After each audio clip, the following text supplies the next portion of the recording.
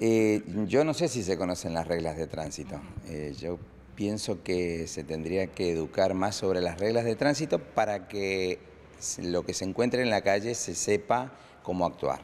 Eh, con respecto a la educación que realizo en la escuela, en la autoescuela, es desde el comienzo, es desde comenzar cómo se ubica uno en un coche hasta cómo proceder en un cruce de calles y más. Eh, en ruta, eh, un sobrepaso, eh, ver los carteles que significan y por qué están situados en tal lado, cuál es la prioridad de un cartel, porque hay prioridades mayor y menor, los horizontales, los verticales, etc. Y con respecto a, todo lo, que se hace en teoría, de, es no tanto la ley, sino explicarle al alumno cómo se procede eh, en, sentido común, porque uno se sube a un coche y se piensa que conducir es fácil y todos los días aprendemos. Ahí es donde nosotros tenemos que eh, enseñarle al alumno de que todos los días va a encontrar algo nuevo. Entonces, desde, a partir de ahí, el alumno empieza a tomar conciencia de lo que se va encontrando. Cuando un alumno nuevo sube y me dice, yo ya sé, lo dejo. Y a partir de ahí, como se dice ahora, le hago la devolución. Y se da cuenta, y se da cuenta lo que le falta aprender. es una ironía, porque si vamos a aprender a manejar y ya vamos sabiendo, creo que hay algo que no está bien. bueno, bueno, pero, pero es, normal que a lo mejor eh, los padres digan, yo ya le enseñé en el campo, es solamente de voluntad y después se dan cuenta lo que la, diferencia cuál es. Bien. ¿Cómo manejamos los juninenses?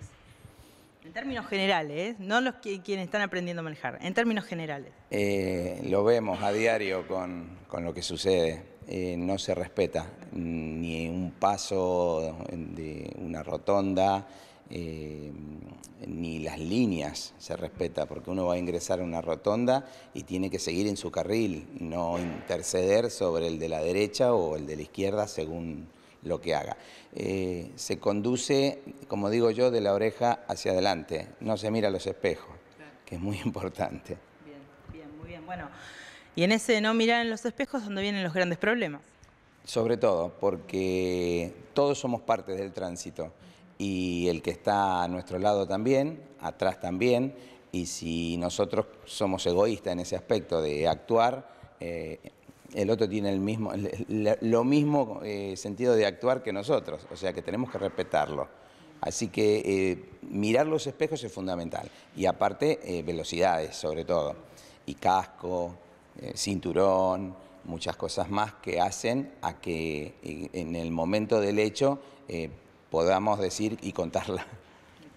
Bueno, quienes van a aprender a manejar son personas de todas edades, chicos de 18, 16, 18 años, eh, que van a sacar recién el carnet, gente grande que eh, también aprendió a manejar hace tiempo, pero que todavía no tiene el carnet. Bueno, en este transcurso de esta cantidad de edades, ¿cuáles son las, dudas que surgen eh, al momento de manejar? El tema velocidad, el tema de llegar a una esquina, bueno, los inconvenientes frecuentes de quienes manejamos nos nos encontramos a diario. Eh, sobre todo, los, chicos absorben mucho más rápido la información y es la ansiedad de querer sacar el carnet eh, o la licencia.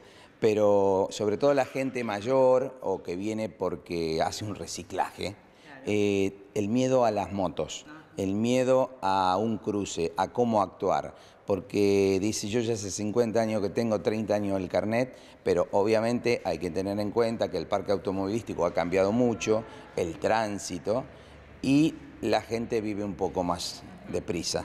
Y eso hace que, en una esquina, bueno, lo estamos viendo a diario lo que, sucede, hace que el miedo eh, les quite las ganas de conducir y hacen la voluntad para poder eh, ir a una autoescuela eh, donde le podamos explicar todo lo, cómo proceder y sacarle el miedo que es eh, la maxofobia, el miedo a conducir.